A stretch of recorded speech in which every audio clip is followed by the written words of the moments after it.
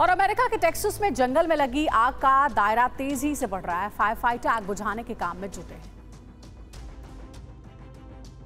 America के Texas प्रांत में आग का कहर जारी है। टेक्सास में आग का दायरा तेज़ी से बढ़ रहा है।